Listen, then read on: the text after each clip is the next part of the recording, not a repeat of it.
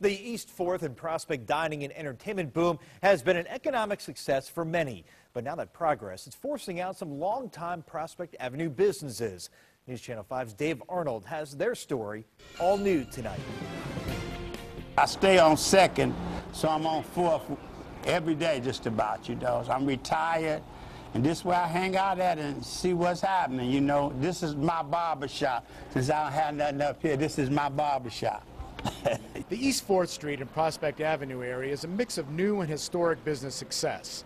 The hats just bring your culture out. It brings the identity of you out. For fans of the Mad Hatter, news that they're closing is tough to take. We're losing our culture. We're using our history of the storefronts that's been gone so far that everybody was raised up on.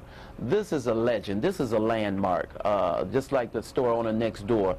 Uh, certain things don't need to be touched. Next door would be Volks, a business that's been there over 100 years, since 1899, and Bert Kay has owned it for 50 of that. I caught up with him earlier in the day after he shot a new commercial to explain to his customers he may only be there for less than a month. But he still got me with his sense of humor. When we first started, we had a hitching post in front of the store. People used to come up in horses and buggies. Yeah, Really? no.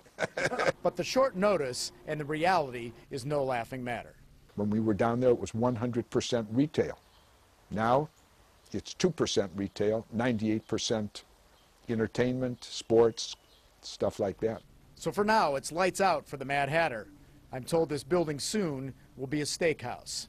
I don't know if I'm going to be in business or